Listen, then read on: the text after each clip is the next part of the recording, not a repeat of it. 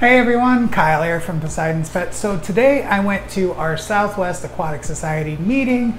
There was an auction and I got some more shrimp. So I got some more shrimp, I got some sales, sales, I got some snails and I got a couple plants. So what was cool was I've never seen these before. See if you can see them. Yeah, it's not focusing. But what it is, is it's a, a spike tail snail. So they're pretty cool. Uh, small little guys. I want to create kind of a small terrarium, uh, aquarium, whatever you want to call it. But I wanted to add these guys to it, as well as one of the members had given me a rabbit snail, as well as a baby trapdoor snail. So I want to create this little you know, uh, container for them that I can set up and just let them do their thing. So we're gonna do that today. But like I said, I got new shrimp, so I wanna show you guys what we got. I'm gonna go ahead and get them drip acclimating, get them thrown into a breeder box so that way you guys can see them and then we'll get right into it.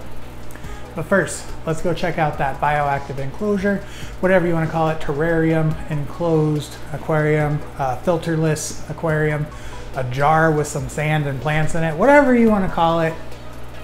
Let's go build that real quick. So what we got here is one of those new ball aquariums. Yeah, these guys, these guys are awesome. You know, got a little bit of sand in there from the 60 gallon. So what's nice is this substrate is gonna be bioactive. It's gonna have stuff in it that's gonna help to create life in this jar by itself because it was already in an established tank, it's gonna have the beneficial bacteria, it's gonna have little microorganisms. What I did was I just added some RO water to this, as well as a little bit of the tank water, and then I'm gonna top it off with the uh, remineralized RO. So it's gonna be a softer water setup, but not, not like a Caridina tank. It doesn't have a buffering substrate. So it's gonna have a little bit of some minerals in there, but nothing too crazy like, uh, like our tap water here. So yeah, like I said, we got these spike tails. Let's see if I can get them to focus now, because these guys are really cool. Yeah, apparently if you put these in a tank with predators, they grow long spikes on their shells. So it's pretty interesting. So we're gonna dump these guys on in there and let them do their thing. Not sure what kind of plant is that. It kind of looks like some moss, like some hair algae almost. I'm not quite sure what it is. So I'm just gonna dump these guys on in there. And then them a little swish just to get them unstuck from the glass or plastic, whatever this container is. Come on. Let's give them a little shake. They'll be alright.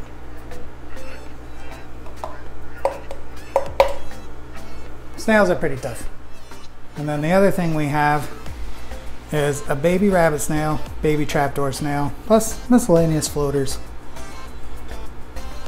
So we're gonna add all of this to our little enclosure we made and then I'll probably add some moss too.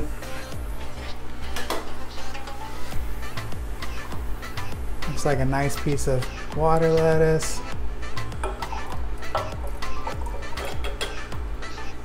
Just dump all that in there. Whatever's in there is going in there. Looks like some guppy grass as well. Put that in there, why not?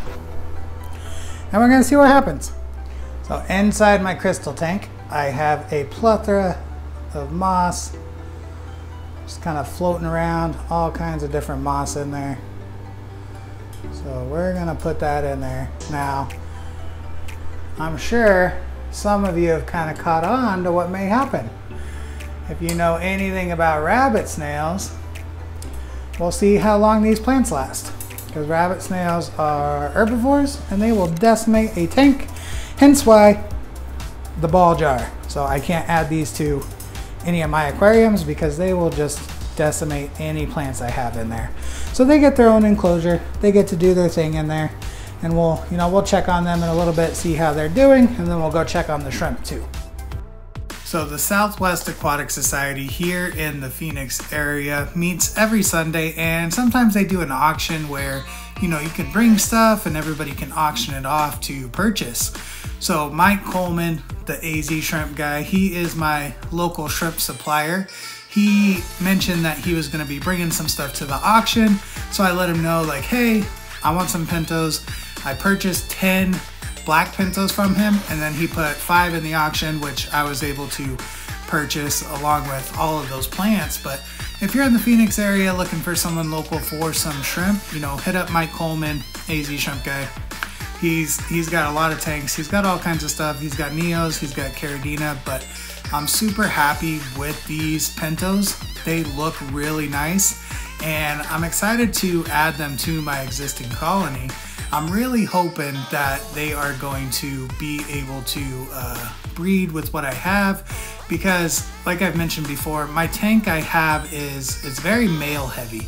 So I'm hoping that some of these turn out to be female, but we'll see how it goes. You never know with getting new shrimp because it's it's always up to the supplier to pick them and a lot of times they're unsexed juveniles so you're not sure what you're gonna get but if you get anywhere from you know 10 to 20 chances are you're going to get a mix of males and females. But definitely excited for these guys, and I can't wait for them to start breeding so I could see some of the patterns I've got because I have some really nice looking shrimp in this tank. Look how gorgeous that looks. So that's about 24 hours later. I didn't feel like recording anything after I set it all up last night. But got the floating plants in there, a little bit of moss, piece of a almond leaf. So these guys are gonna do okay they'll just hang out here. What I'm gonna do is put this right here with the moss grow out. So that way it can still get some light and they'll be able to do their thing. So just fed them and they are ravenous. These guys are loving it in here. I already saw a few of them uh, pairing up, so hopefully we'll get some berries here soon. But these guys are gorgeous. Absolutely amazing. Can't wait to have some babies. So it's been a few weeks since that video. You guys got a sneak peek of the moss grow out. More to come on that. Let's go ahead, check out that jar, see how it's doing. So things are always evolving and moving in the shrimp room. But you can see there's a little piece of wisteria in there. And looks like that wisteria is growing like crazy. The guppy grass is doing good. Snails are still doing good.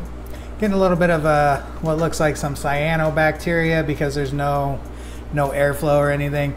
I'm tempted to throw this in my new Neo tank, just toss everything in there, but haven't decided yet. I may keep it going. Let me know in the comments down below if you guys want me to keep this experiment going, keep it running, or if I should just mix it in one of my tanks. But let me know what you guys think.